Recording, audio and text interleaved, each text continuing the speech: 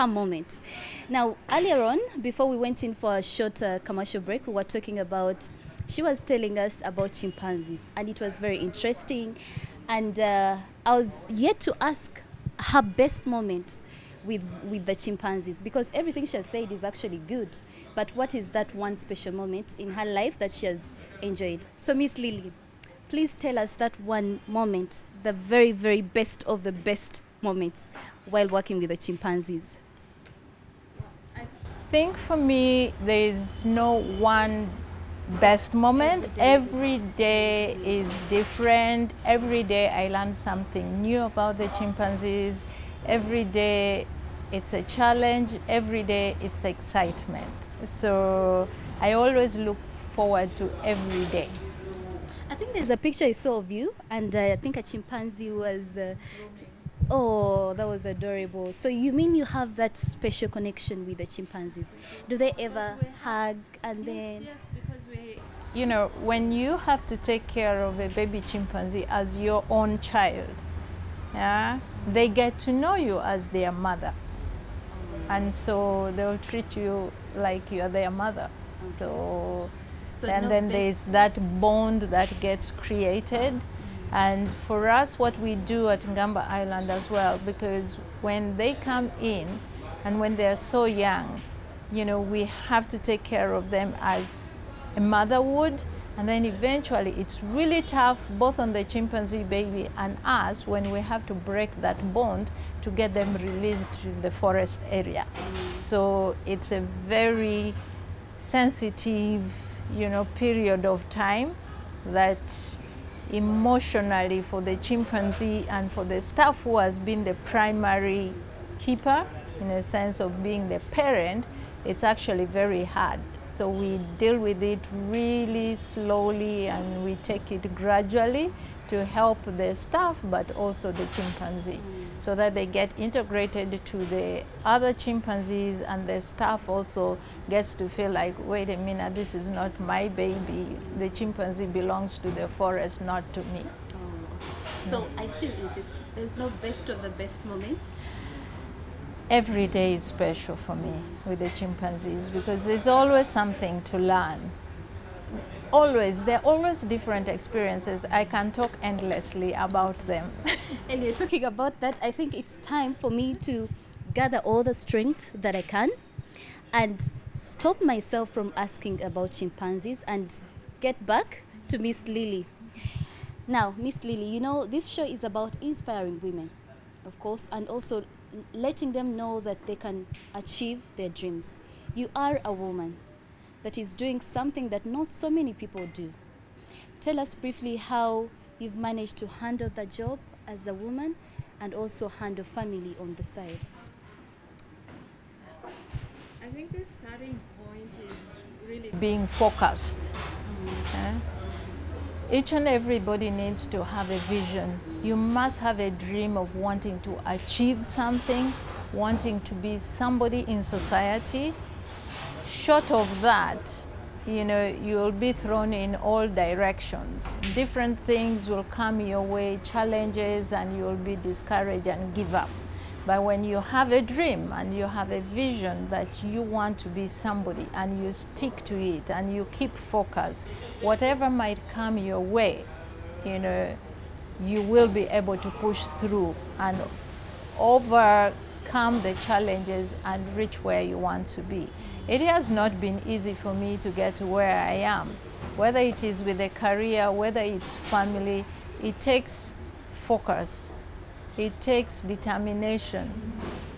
With determination, you will be able to overcome the challenges because you know that, well, I might go through this challenge, but after it, I know that I will be a step ahead, you know, towards what I want to do.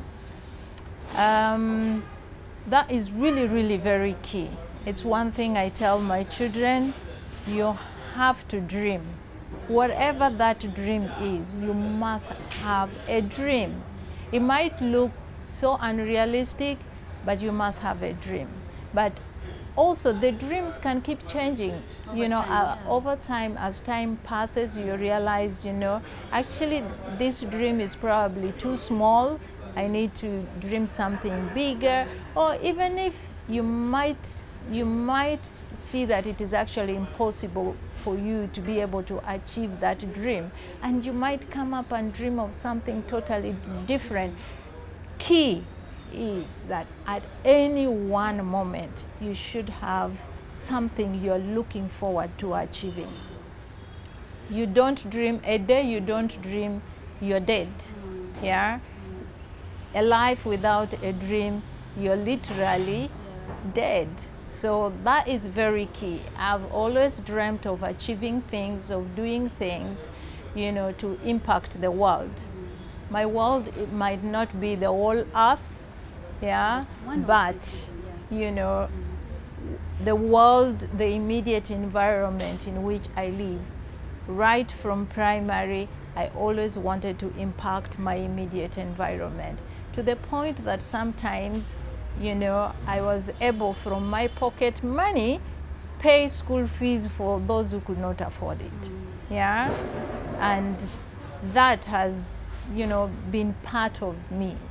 I guess it's also partly how I was brought up by my parents. Yeah. And um, yeah, key is is uh, have a vision, have a dream, be determined, keep focused. You see, Yeah. sometimes dreams can be hindered. You have a family, and then on the other side, you have a job. Mm? So you may find women outside there have big dreams, have big things that they want to achieve, but they have parents. Imagine like your dream. Was your dream. Uh, did your parents support your dream? Uh, of working with the chimpanzees? Is it something they always wanted you to do? Because sometimes parents may say oh i want my daughter to be a lawyer. Oh i want my daughter to be a doctor. Oh i want my, doc- my daughter to be this and the other. You as a person how was it with your family? Well, I have to say that uh, I, I didn't have, I, yes, I had the support from my family to an extent, but to be able to do what I'm doing, it was a personal decision, a personal determination that this is really what I would like to pursue. Yes, in a way, maybe I was lucky that I didn't have parents who insisted that no, you have, to do law. Oh. Yeah, which at some point was like, yeah, that's what you know I was to do. My parents were both, you know, uh, medical people. My mom was a nurse. My dad was a doctor. So, in the environment I was growing up, you know, it was like, oh, I'm going to become a medical doctor. And that was like, it was given. You know, everybody around me was a medical personnel. Um, but in a way, I'm grateful that, you know, I was not pushed to continue just to think that medicine or being a nurse or a doctor was what I had to do. So at the time when I started thinking differently and wanted to do something differently, nobody, my, par- my parents specifically did not stop me from doing what I wanted to do. And um, yes, family support is very key. Yeah, yeah absolutely. Um, but also, it is not only family. You know, at a certain stage, we become independent, you know, and we have to be able to make a choice of what kind of friends we have to keep around us. Because you either keep friends who will encourage you to achieve your dreams or will discourage you from achieving your dreams. So that is very key. From my life experience, I've had friends who have played a very big role, you know, to encourage me to achieve, you know, what I have been able to achieve more than my parents doing it to me at a certain stage. So whom we choose to be our friends, you know, is very, very key as well, especially for, for the young girls. You, know. you need to be very careful of who your friends are. Yeah. Are they dreaming like you? If they don't have dreams, then they're the wrong friends you Yeah. have. Do they encourage you in what you want to do with your life? If they don't encourage you and they only dis- discourage you from pursuing your dream, then they are wrong friends. Look for others. So to me, that is another key factor for anybody in any career, in any kind of life that you have to consider. Your network, family, friends, it's very important for you to achieve um, what you need to achieve with your life. We are all designed to achieve something in this life, and we can all achieve it, but we need to have the focus, we need to go for it, and we need to have the right support to be. A, nobody can achieve it on their own. Definitely, you need the support of other people. So there are women outside there that are mothers. They have dreams. They are parents. They they just a mixture of so many things. And you see, there's this other mindset that women, when they get married, they just have to leave so many of the other things they were doing and just take care of the what of the family and of course the husband and of course the children. I just want that one thing you can advise these women outside there to put in mind when they're, you know, dealing with all sorts of pressures from different angles. What is that one thing that you've done that has enabled you to take care of your kids, take care of your job, take care of your family? Well, you know, if if I had to go back and get married and raise children again, I would actually do it a little bit differently. Okay. well, I was uh, I was pursuing career at the same time with marriage, with family, establishing a family at the beginning of my career, which was very challenging, very challenging. But what I have learned through that, and if I have to recommend or advise any woman out there, what is key is to look at the phase of life in which you are, yeah, and prioritize accordingly. Family is very key. Yeah? Career is equally key in the in the kind of life trend of life world over. You know, women have to be career people as well. You cannot just sit and wait. You know, we also have talents that we need to exploit and you know get the world to have that that has been put in us you know. It could be through inventions could be anything. And so we don't need to deny the world you know of that that we can actually do for the world as women as individuals. But i would do it differently in that i think I was pursuing both at the same time, which was very, very challenging, but thank God I had a very understanding husband, mm. you know, who was always there to help, was always encouraging me, and, you know, I was like, It's made life easy. it made it a little bit easy, not that easy because I still had to do with the reality of going through pregnancy myself. We mm. couldn't do that. I had to breastfeed and I had the extra burden of you know running in between home and office, you know, lunch hour to breastfeed, you know, and things like that those challenges are there, you know, but again, it's about being focused. I need to take care of my family. At this point, I need to go. And what it calls also is being organized. Being Yeah. organized. Being organized as a career person, as a career woman with a family, it calls for a lot of organization. What I used to do when I was breastfeeding, I would, you know, press the milk, leave in bottles for the morning hours, lunch hour. In the book? Mm-hmm. Yeah. Wow. Yes, I would express milk from my Breast? from my breast, leave breast milk in the bottles for the baby, you know, which would take up to lunch hour. Lunch hour, I go breastfeed a little, press more up to about to, to take to take to evening. Yeah, but that is the sacrifice I had to make because I wanted my children to have the breast milk. Yeah, And and of course it was and then I had to work, and my work involved a lot of field work. And uh, again, you know, we always need the support.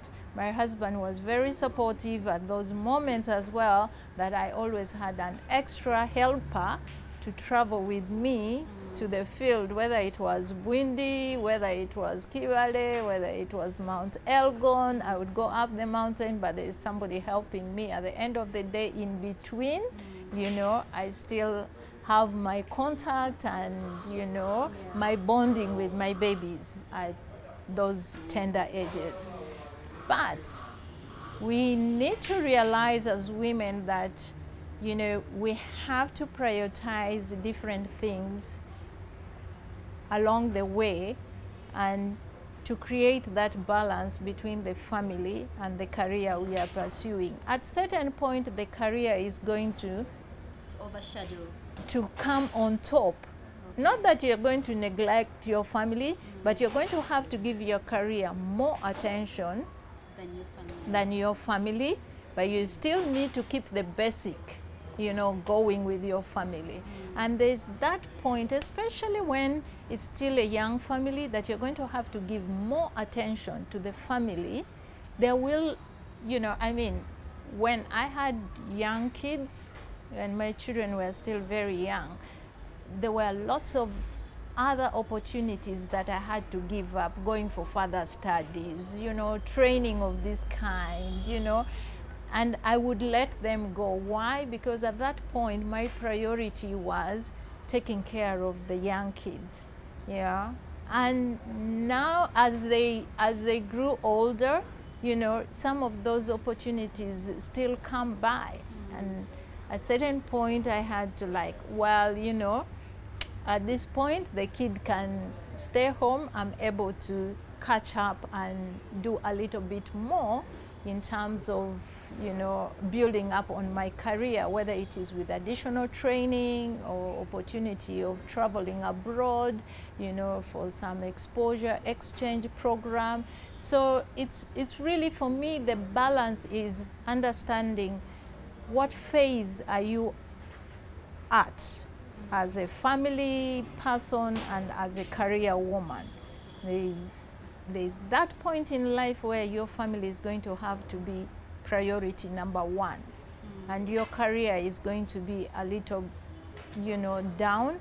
And then there will be that point where you really have to push to build your career as well, and you need to balance that, out that with the age of if you have children, you know, at what age are your children?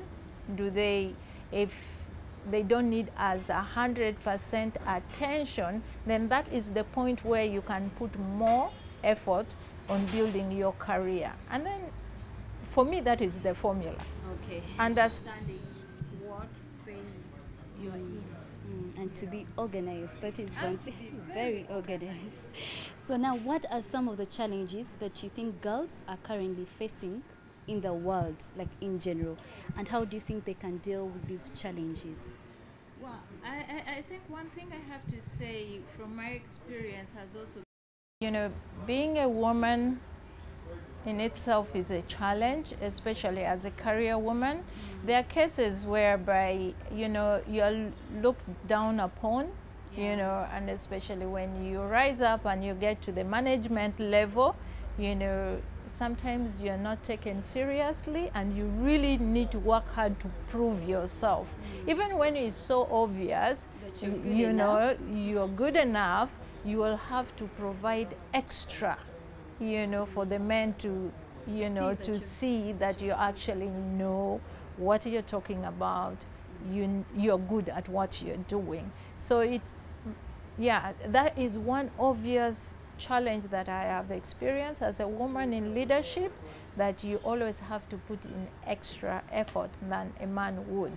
And that should not be a discouragement to any woman rising up in leadership because once you know even the men get to know that you have what it takes there is you have a value that you can add to them whether in meetings in a project you are running together they will give you the respect Yeah, absolutely. Wow, it's been amazing. It's still we're still going on. I must say that I really do not want this interview to end. And a part of me keeps wanting to ask you a few questions about Ngamba. But uh, I want you to briefly, of course, now you see the show concentrates on um, girls, but again, we also need to look at the aspect of uh, dealing with the issue of men. Because soon or later, as a woman, you're going to have to involve a man in your life. You've talked about family and all that. Imagine a scenario. Let's just imagine a scenario where you, as a girl, you love this man and you have this career you're chasing. For instance, you you want to be like probably the most prominent lawyer in the world would ever know or something, and then your husband says no. What do you do? What advice? Because people do go through these things. I have gone through that. Mm. I well, I I finished my training, you know, my tourism training in Europe in Austria, mm. and at the end of the training, I was picked among the two students, you know, from Africa, and offered a job at Disney World in Florida, USA. Hmm. And at that point, I was already in a relationship. Yeah? And so it was the most difficult decision I had to make in my life ever. Hmm. In that I had to choose either to come home, get married, which at that point my fiance was ready mm. that we take the next move, get married. Or I had to make a choice of saying, you know what, to hell with you, I'm going to America first. I had a job given to me. Wow. So you Yeah. you let go of the relationship and went for the no, career. I actually let go the job and came home and oh. got married. Oh. Yeah, and I don't regret it. Okay. I don't regret it because uh, ever, ever since then I have been to Disney World, Florida. You know, uh, I have not worked there, but at least I have been there. I have the experience. I know what it is. Yes, maybe it could have ended up differently, mm. but I don't regret because I have a beautiful family, beautiful children. I wouldn't trade them for anything. Anything, yeah. So looking back, I think it was it was the best decision I made because So- I still caught up with my career. you Okay, know, later on. So, in other words, as a young person, so as a young woman, you need to weigh your options, weigh your family, weigh your relationship, weigh your job, and pick out the best option. At least that's what I've understood from the advice that has been given to us by uh, Miss uh, Lilly. Yeah. So now, as we conclude the show, I know I don't want to go. I've really enjoyed this, but as we conclude, how do we get to Ngamba Island? Ngamba Island is um, on Lake Victoria. Yeah. The easiest access is through Entebbe, from Waterfront Club or Entebbe Zoo. And they have the access can be from either of them, depending on what boat you're booking. We have our head office in Entebbe, uh, next to Stanbic Bank in Entebbe town. That's where our offices are. And uh, we do have a reservation office that takes all the reservations for those who want to visit. We have speedboats, but we also have motorized canoes, and it takes between uh, 40 minutes to one and a half hours, depending on the type of boats you're going on. And um, we do we do have special rates, you know, for Ugandans, uh, and uh, I would encourage that um, when traveling to Ngamba, you get others to travel with because the boat, the boat transport is normally expensive. So if if you travel in the group, it becomes cheaper. So families, groups of families, or groups of friends, and then it is also more fun, Yeah, you know, than traveling, you know, one or two people. And uh, our reservations office is always happy to help.